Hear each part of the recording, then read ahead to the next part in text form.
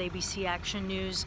We are on site of a crash, a very scary situation for a family of four startled awake by a car slamming straight into their home. In fact, right over my shoulder you can see that boarded up area. That is where the car went through.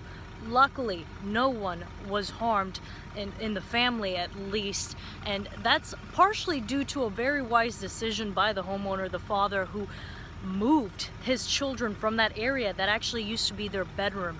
He moved it, uh, their his children because he thought this was a dangerous area. He's seen close calls before.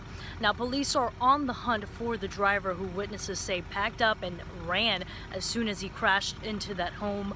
Uh, also reports that he might have been injured in this crash, although police have not confirmed that.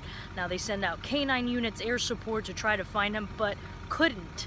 Now they did track down the owner of that vehicle, uh, but that owner is saying that he loaned out his car to an acquaintance and hadn't seen it in over a week. Now there are a couple